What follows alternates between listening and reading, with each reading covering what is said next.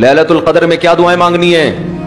दो दुआओं को फोकस ज़्यादा करना है। एक, हिदायत अपने लिए भी, अपने माँ बाप के लिए, बीवी और बच्चों के लिए, अपने बहन भाइयों के लिए और इनके अजवाज और इनकी औलाद। ये आपका फैमिली की क्या हो गई?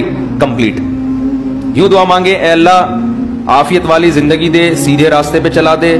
मुझे, मेरे वालदेन को वालदेन में बाप दादा सब आ गए नाना नानी सब आ गए। मेरे वालदेन को, मेरे बीवी बच्चों को, मेरे बहन भाइयों, उनकी अजवाज और उनकी औलाद। अजवाज में शोहर और बीवी दोनों आ गए। हैं तो ये आपकी फैमिली क्या हो गई? कंप्लीट। तो ये सब के लिए दुआ कर दी। चंद दुआएँ बहुत ज़रूरी हैं, जो इन लैलतुल कदर में आपने कसरत से मांगनी है। एक दुआ सबसे पहले मैंने बताया, क्या मांगनी है? हिदायत। बल्कि इससे भी पहले, अपने गुनाहों की मगफिरत। क्योंकि गुनाह दुआ की कबूलियत में आड़ बनते हैं। अल्लाह कहते हैं, तू मेरी तो कुछ भी नहीं मानता और अपनी मुझसे मनवा रहा है। मैं जब तुझे आजमाइश में डालता हूँ तो तू कुछ भी नहीं करता।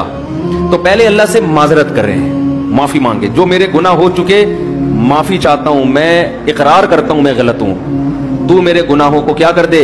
मुआफी बार बार मांगे अल्लाह से यही है इन्ना का अफून तो हिब्बुल अफवा, फाफू अन्ना। और दिल में नीयत करें, अल्लाह, मैं तुझसे वादा करता हूँ, आइंदा मैं गुनाह नहीं करूँगा। शैतान ऐसे मौके पे कहेगा, हबे, तू कर लेगा, तू क्यों झूठे बातें कर रहा है? तो शैतान को बोले, तू और मैं जानू, अल्लाह जाने, तुझे कबाब में हड्डी बन के तुझे क्या तकलीफ़ हो रही है?